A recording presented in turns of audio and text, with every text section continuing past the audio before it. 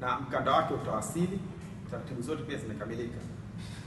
Sasa labda kabla tujaendelea sana ku- ku- kuja kwenye second phase ya mapambano ya utangulizi, Twakiduku mwenyewe kuzungumza, kwanza labda tujadiliane tu hapa kwanza, kama kuna chochote ambacho tunaweza tukakiongelea kuhusiana na, na, na hii title.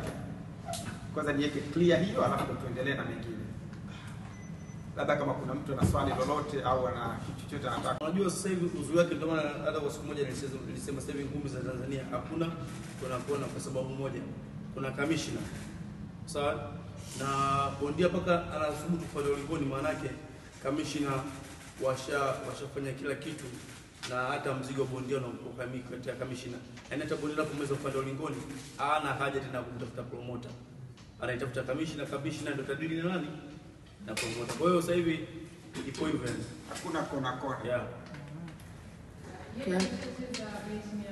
na sifa gani ambayo imetufanya tumlete huyu bondia Silema Mkong kuja kucheza hapa Tanzania na Twaha Kiduku?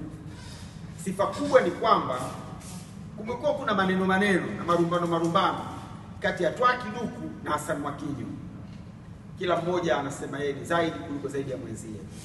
Sasa basi, hili pambano, huyu bondia Silema Mongkong aliwahi kumpiga bondia ambaye alikuja hapa Tanzania akacheza na Hassan Mwakinyo Tinampei wa Filipini. Lile pambano la Tinampei na Hassan Mwakinyo lilikuwa lina ubishani, lilikuwa lina upinzani mkubwa sana, mpaka kuna wengine wakathubutu kusema kwamba Hassan Mwakinyo kabebwa.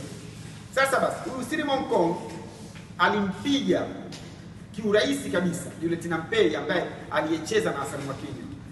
Sasa Twaha Kiduku ana sifa moja, huwa kila siku ananiambia mimi promota, niletee yule bondia ambaye wewe unamuona kwamba ni kikwazo, ili mimi nikimshinda yule kusiwe tena kuna maneno maneno. Kwa hiyo huyu bondia Silema Mkong ni mmoja kati ya mabondia bora sana, na kiukweli ni bora. Sasa sisi tulichofanya ni kumwandaa Twaha Kiduku. Mimi naamini Twaha Kiduku ni bondia namba moja Tanzania na sio Tanzania, Afrika. Sema hajapewa nafasi na hajawahi kupata nafasi kubwa kama hizi. Kwa Golden Boy Promotions, sifa yetu mojawapo ni nini? Sifa yetu mojawapo ni kwamba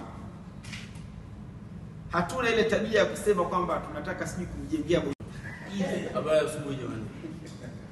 Eh, Bwana, kwanza mimi napenda kumshukuru Mwenyezi Mungu umepata nafasi hii azimu kabisa kuchezea ubingwa wa WBC kwa sababu ni mkanda mmoja mkubwa sana duniani na unatambulia kidunia zaidi, na hamna Mtanzania wote ambaye amekuchezea mkanda huu, na Afrika kuna kundi ambayo Kongo pia ndio aliochukua mkanda design hiyo. Kwa hiyo kwa namshukuru sana Mungu kupata nafasi kubwa kama hii, na pia kikweli imechagua bondia tofauti na wengine ambao wanakuja Tanzania. Ni bondia mzuri, bondia mgumu, ana mechi mia moja na moja katika mechi mia moja na moja amepoteza nne tu, tisini na saba zote kashinda, wala hajadraw. Kwa hiyo ni, bo, ni boksa mzuri na hamna bondia wote Tanzania mwenye goli kama hii ya bondia. Kwa hiyo mimi naamini ameletea bondia mzuri, na pia napenda kuwaambia Watanzania mimi na nipo katika kujiandaa vizuri. Kwa hiyo mimi naamini nitafanya vizuri, na walimu wangu kwa Ilanda pamoja na wanisimamia vizuri katika maandalizi, na mimi nazidi kumwomba Mwenyezi Mungu kadri siku zinazidi kwenda, aendelee afya iliyokuwa njema. Mimi naamini siku hiyo nitafanya vizuri, na pia nitakuwa mchoyo wa shukrani bila kumshukuru kwanza Shomari Kimbao pamoja na Chauleko Palasa kwa kunipa nafasi hii kubwa ya kuchezea mkanda mkubwa kama huu, kwa sababu ni nafasi kubwa sana kwangu mimi. Kwa hiyo mimi nataka kuambia mashabiki na Watanzania ndio alianza alianza ngumi, lakini alipigana na mtu mwenye rekodi ya ishirini na mbili yeye akiwa zero, akiwa zero zero. Kwa hiyo alipompiga yule mtu ambaye anaitwa Alibaba akapanda kutoka kutoka zero mpaka themanini na saba. Kwa hiyo unapompiga mtu ambaye kama yuko juu, basi wewe utapanda na, hiyo kwenye ngumi ndivyo ilivyo. Hata miaka ya zamani watu wanapigana, huyu anataka apigane na huyu. Kwa hiyo ni jambo la kawaida, ila anapokataa anakataa tu kama yeye mwenyewe anapokataa, alazimishi, lakini kula alazimishi, lakini ipo siku mtu anaweza akasema wakapigana.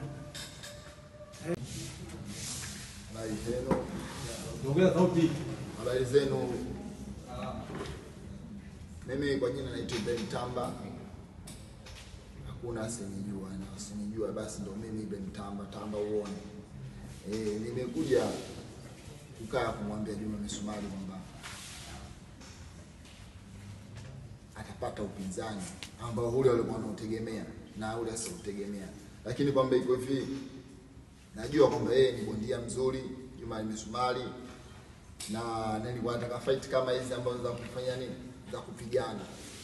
Sitaki fight ambazo za vitonga, kwa sababu hazina hazina mantiki yoyote ndani ya boxing yangu.